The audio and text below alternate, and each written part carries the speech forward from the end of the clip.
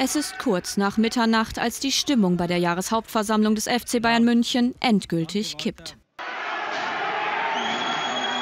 Sie werden mir als Versammlungsleiter zugestehen, dass ich die Wortmeldungsliste schließen kann und auch die.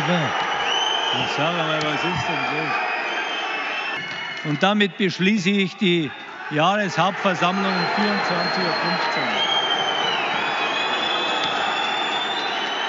Vorausgegangen war dem Tumult eine Diskussion über das Qatar Airways Sponsoring. Einige Bayern-Mitglieder kritisieren Menschenrechtsverletzungen in dem Wüstenstaat, wollten einen Antrag einbringen, um über die umstrittene Partnerschaft abstimmen zu lassen. Erfolglos. Viele Fans sind sauer und das ist nicht das einzige Konfliktthema bei den Münchnern. Weiterhin Dauerbrenner der ungeimpfte und mit Corona infizierte Josua Kimmich. Bei den Mitgliedern allerdings viel Verständnis.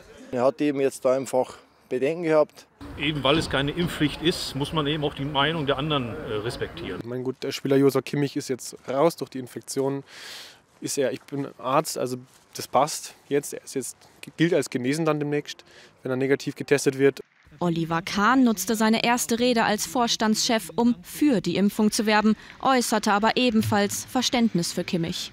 Damit dieser Albtraum endlich, endlich zu einer schlechten Erinnerung wird, ist es das beste Mittel, sich impfen zu lassen.